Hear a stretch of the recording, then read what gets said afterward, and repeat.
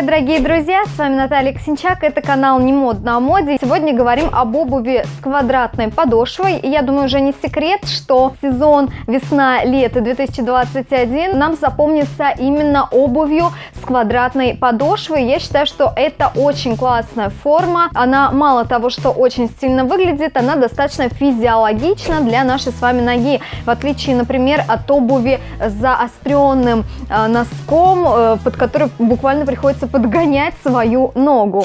Многим может вспомниться, что обувь с квадратным носком, с квадратной подошвой, она была популярна в 1990-х. Однако известна она еще с древних времен. Одним из самых ранних примеров обуви с квадратными носками являются японские гетто и дзори, которые были в обиходе еще около 300 года нашей эры. Носили квадратные носки и на территории современной Европы. Например, в Лондоне были найдены детские туфельки на толстой подошве, которые датируют первым или вторым веком нашей эры. Это времена Римской Британии.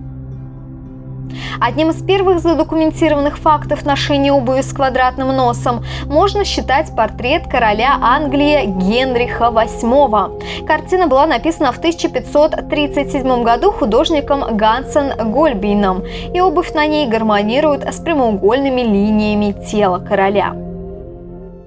Туфли с квадратными носками стали особо популярны в начале 17 века среди простых европейцев. В 1610-1620 годам носок обуви стал квадратным после длительного периода заостренной обуви.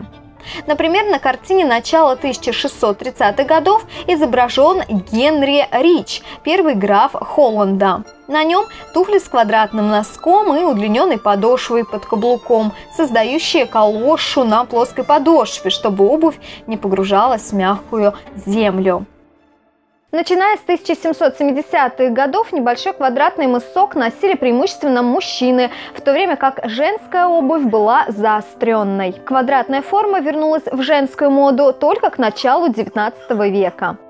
Тогда в моду вошла тонкая, изящная обувь – балетки. Они были столь непрактичными, что могли изнашиваться после одного дня носки, а иногда девушки брали по две пары на бал.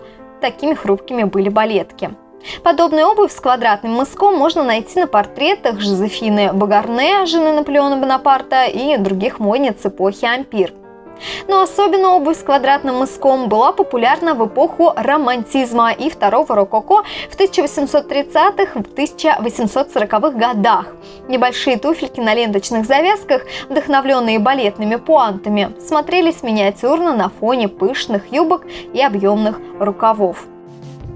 Что же касается 20 века, то квадратные формы вернулись в моду только в 1930-х годах, и то это был очень небольшой аккуратный мысок.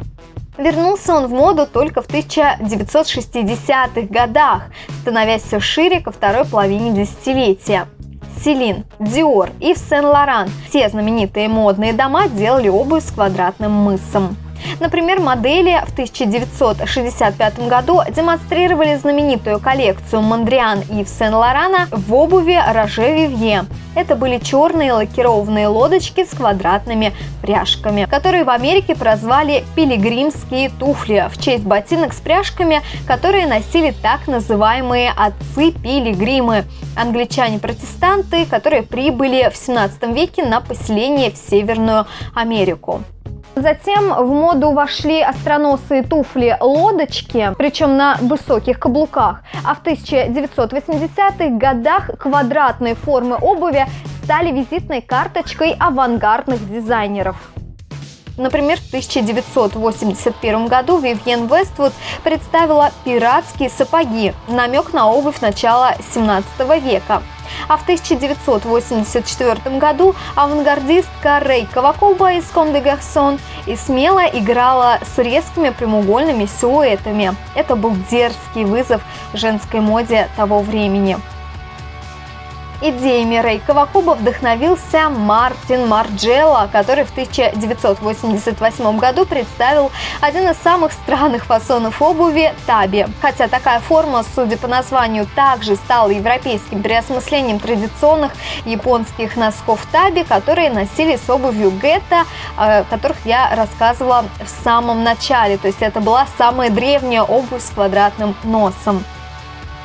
Затем в 1990-х годах случился настоящий бум квадратной обуви, причем это были отсылки к самым разным историческим эпохам.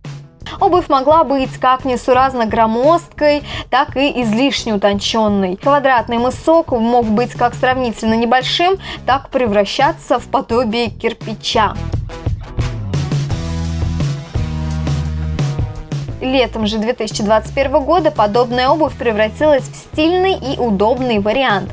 Квадратная подошва, будучи анатомически приближенной к форме ступни, смотрится на ноге гармонично и эстетично, в отличие, например, от закругленной. Если понравился ролик, то ставьте лайк, подписывайтесь на мой канал и всем пока!